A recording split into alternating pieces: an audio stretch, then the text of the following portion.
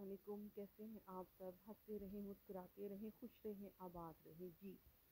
तो कैसी जा रही हैं? सबकी ईद की तैयारियाँ। मेरी तरफ़ से आप सबको एडवांस में ईद मुबारक। की ईद आपके लिए, मेरे लिए, ढेरों खुशियाँ लेकर आए। ये जी मैंने ईद के लिए अपने लिए दो खूबसूरत से कड़े लिए हैं। बिल्कुल नाजुक से सॉफ्ट है ये। और ये वन कैरेट गोल्ड में है। गोल्ड प्लेटेड है। इनका कलर ब्लैक नहीं होगा और जल्दी ख़राब नहीं होगा और पहने हुए गोल्ड लुक देंगे। कहीं अंदर बाहर आने जाने के लिए आपको पता है हालात भी इतने अच्छे नहीं होते हैं तो गोल्ड पहनना मुश्किल भी होता है। तो ये सही रहता है।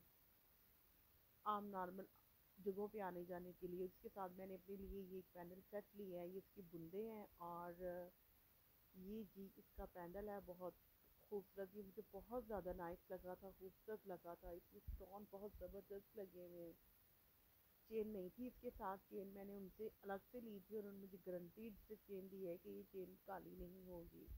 मैं वैसे भी शॉप से काफ़ी अच्छे से शॉपिंग कर रही हूँ।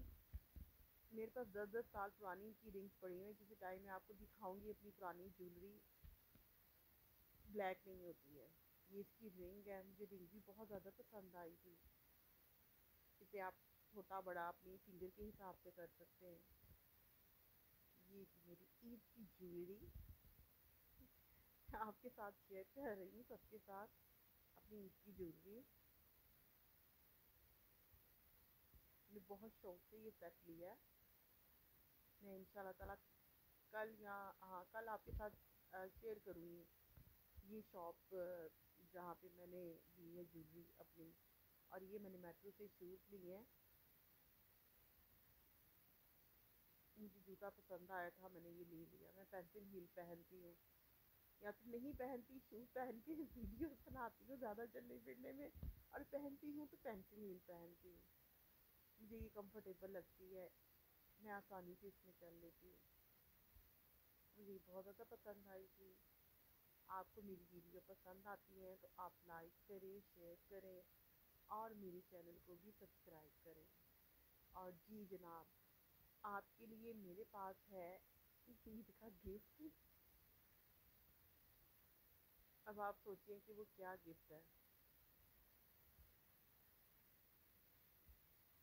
मेरी तरफ़ से छोटा सा मुन्ना सा गिफ्ट है आपके लिए।